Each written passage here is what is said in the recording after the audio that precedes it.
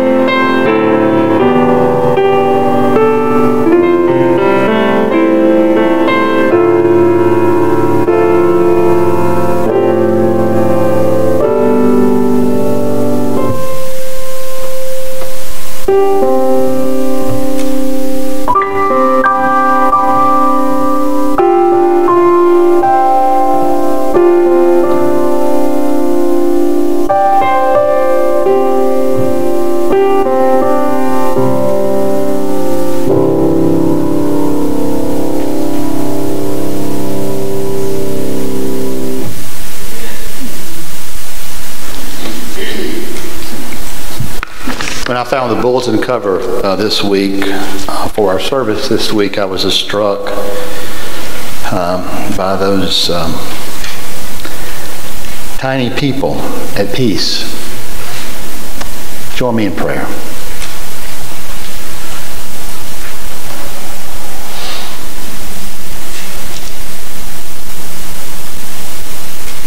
Oh God, we thank you today that you have placed us in this great and prosperous land. That the country that we share, Lord, is founded on truth and liberty and justice for all. And God, as we consider things that are going on around the world, especially places like the Ukraine and like Israel. We thank you for living here where things like that are out of the ordinary and not the norm. We pray for both the Israelis and the Palestinians and the Russians and Ukrainians and all those lands where there is strife and conflict and hardship and suffering and death and terror. Lord, we with you hate evil. We love, Lord, all men and women boys and girls, babies. And we pray, Lord, that as we pray today that you will work your will in all these matters and bring peace that we may lie down and rest in you. Help us, Lord, as we consider our lives and what we can do for you, even at our ages, even with our means, even in our stations of life. We know, Lord, you can use us in powerful ways, and we pray that you will do that. Open our hearts to it. We pray in Jesus' name. Amen.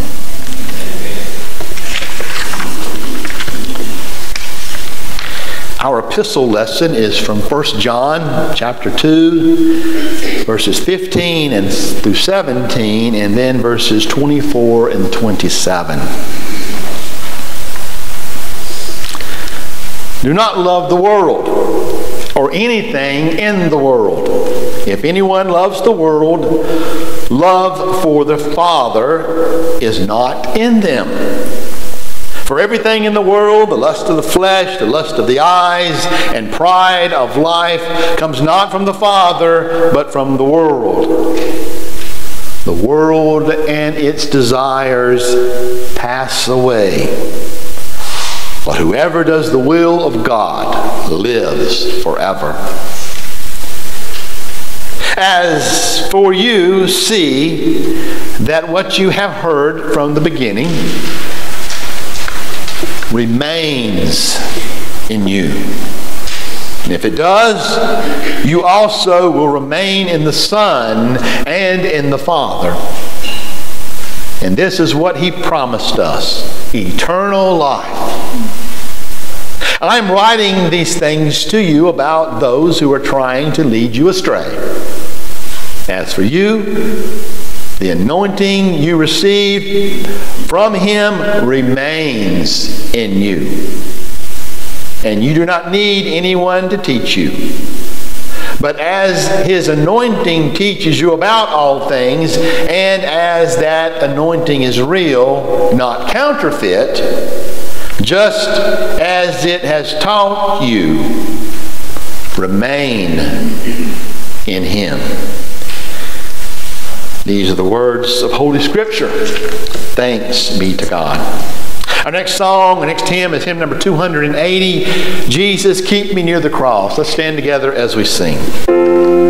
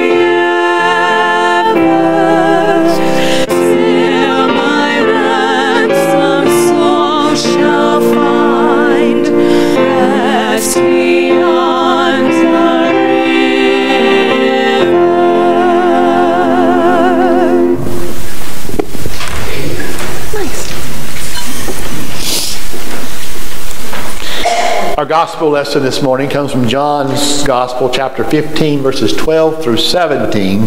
These are the words of our Lord Jesus. This is my commandment that I that that you love one another just as I have loved you. Greater love has no one than this that one lay down his life for his friends. You are my friends if you do what I command you.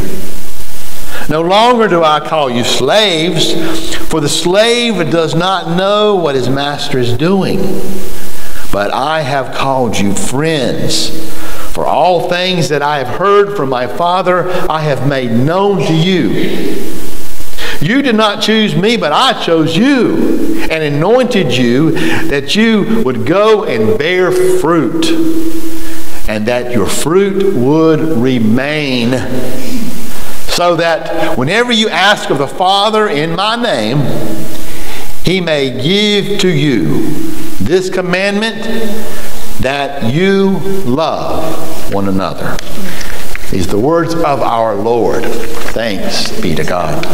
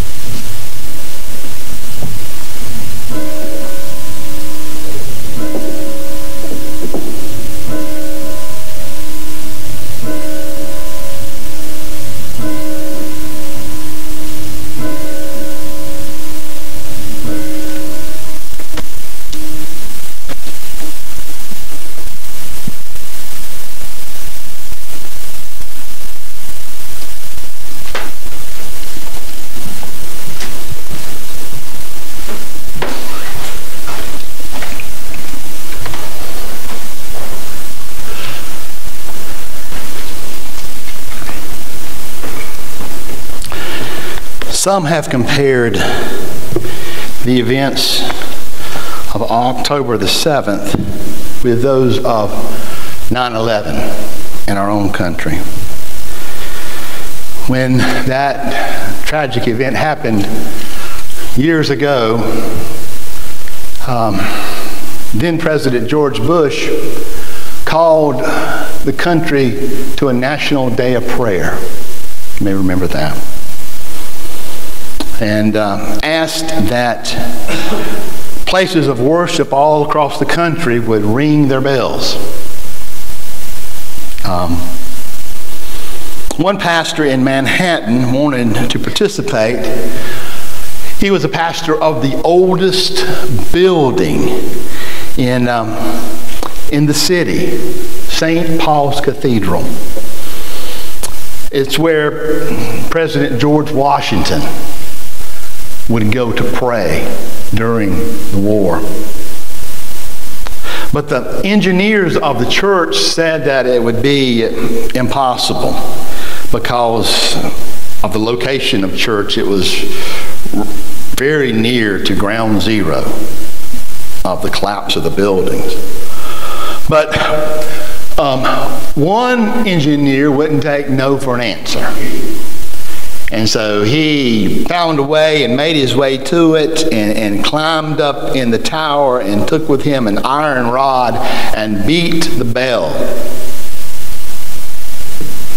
for that day of prayer. And the police officers and the firemen that were there working in the rubble paused and stopped and bowed their heads together in reverence. Because of one brave engineer uh, who would not take no for an answer, would not be silent about what took place that day. Despite the adversity, he made it happen. Some. Uh, have said that the events of 9 11 made America a more spiritual place, made Americans closer to God. One thing it did do was to remind us that there is evil in the world. And sadly, how many times do we need to be reminded of that? We are reminded by Jesus and the writer of John's epistle that we are to remain, remain in him. That Greek word has a variety of meanings. I pointed those out to you in your worship bulletin. And by the way, I give you homework to do every week, most every week. Go back and look at those passages of Scripture that's made reference in those readings for you to do and, and reflect on that. But that word, that Greek word, meneo, means to, to stay in place, to hold out to stand fast, to stand still, to remain, to endure, to abide. That one little word means all of that. To hold fast, to abide, to remain in Him. Earlier in John's Gospel, Jesus said these words. He said that I am the vine and you are the branches. Those who may know, may know, abide in me and I in them, and they bear fruit. Because apart from me, Jesus said, you can do nothing. We must meneo, we must abide, we must remain in Jesus. Well, what does that mean to remain in Jesus? You remember that first experience of maybe puppy love that you had and how you felt in that. Or maybe it was that feeling after you were in the church and baptized or confirmed, depending on your tradition, that you came, you felt so close to God and you felt His Spirit and you just want to hold on to that, to remain in that feeling with God. And sometimes we, we drift off from that. But Dr. Paul Brand, who was, who was a missionary physician, a doctor in various parts of the world, very remote parts of the world, he um, once commented on the various peaks of life. He said that at age 27, he felt like at him, he was at his peak physical self. He felt like he could do anything physical. No matter what it was, he felt like he could achieve it. That was, it was achievable to him because of his, his, his stamina and, his, his feelings about his, his body being able to do things. and he said that some people, after they reach their peak, feel like it's all downhill after that that their life is over after that, that there's nothing else that they can do. Maybe it's a sports star. Once they have reached that peak and that turning downhill, they just give up. Now, he said that at age 57 that he had reached his mental peak. He was a well known surgeon and physician. He helped leprosy patients uh, in India. And some other people think when they reach that age of their mental peak, if, if they start declining mentally, then things are all downhill after that. That life is, is sad, it's over. Then he went on to say in his 80s that he realized that he was reaching his spiritual peak. That because of his life and his experiences, that uh, he was becoming more mature and wise and kinder, a more peaceful human being. And he went on to say this. And I realized when I cross that peak, for me, life will not be over, but will just be beginning. Dr. Brand knew how to remain in Christ.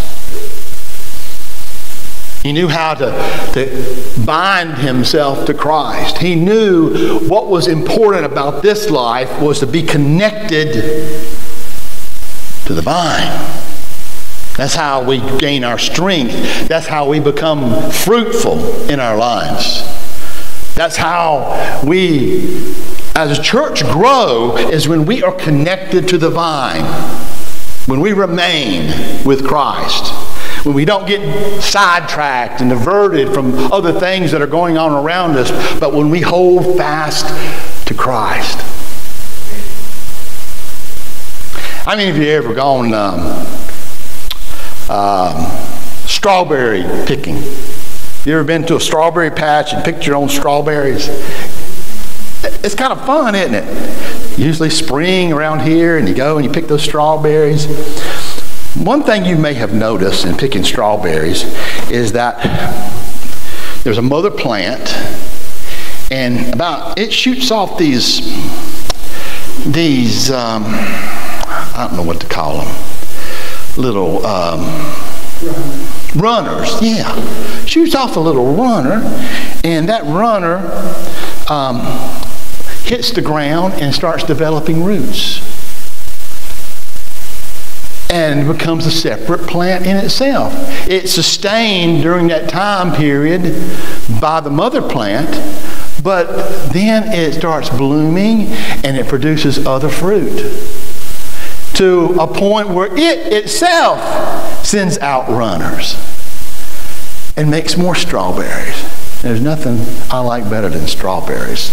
Fresh strawberries, natural, oh, mm, good stuff. Good for you too, by the way. Well, that's what we are to be, each of us.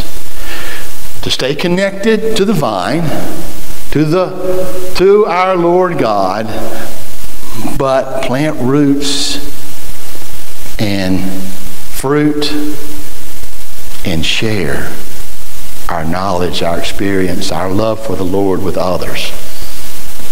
Wherever we go, wherever, wherever we're at, whether at work or within our families or our neighbors or rest, whatever.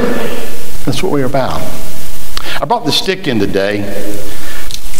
I, this was a memento for me from uh, the old home place where I grew up before we, we sold it. Um, and my mom had taken a grapevine from the mountains and planted it in our yard. And it had been kept up well, so it got wild and it started growing up in this huge big oak tree. A, a grapevine. So you got a bunch of grapes up there feeding, feeding the birds and everything in the air. Um, but I had to get, just, just for memory of it, I had to cut me uh, a little piece of it um, that I use when I portray a Roman centurion. Um, they called it a vitis back then, but it was what the Roman centurions used to discipline his troops. Well, as you can tell, in the middle you can bend it pretty easily, right? But here, where it attached to the vine, it's as hard as a rock. You can't, there's no way you can move it. It's tough. Now, a normal tree, where there's a branch, it's easy to break there, but not in a grapevine. And Jesus told us that I am the vine and you are the branches. You're connected to God, you're connected to Jesus. It's tough to be let go. You're not going to break off easy. He's going to be there with you helping you, sustaining you, encouraging you, making you the person that He needs for you to be in this world. And during these, these days of despair, where we see these bad things happening across the world, we need to remember that Jesus is the vine and we are the branches. We're connected to Him. We have power through that. We have strength through that. And we can have faith in that when times are tough. Amen. Pray with me. Oh God, we um, are saddened by things going on in the world. But we rejoice in knowing that we are connected to you.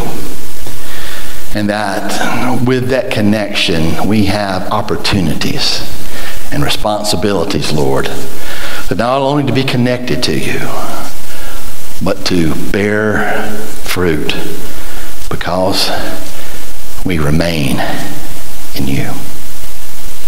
Lord, give us your strength in the days that go forward. And take our hearts now, Lord.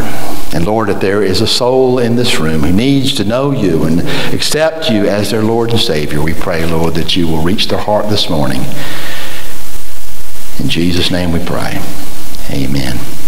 We're going to sing a hymn of invitation and commitment. It's always a time of prayer that you can come pray at the, at the altar, or if you'd like to come and share with me a prayer concern, or if you want to rededicate your life or to know more about the Lord and looking for a church home, we encourage you to come forward today. Let's stand together as we sing.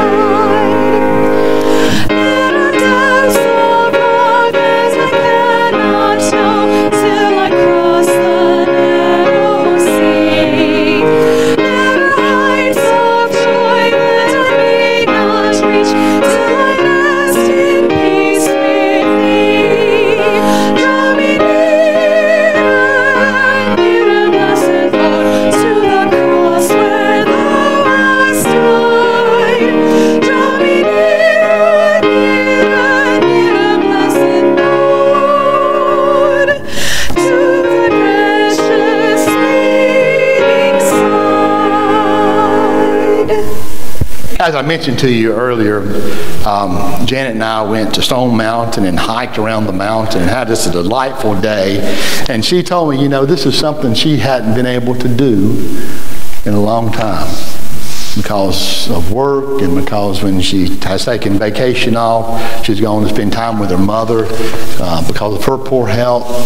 And um, what a joy it was to be with her, to uh, know with her, to remain in her, to abide in her um, yesterday and have that time together.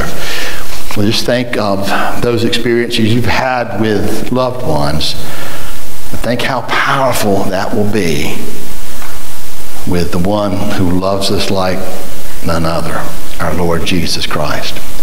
Go in his grace and peace. Amen.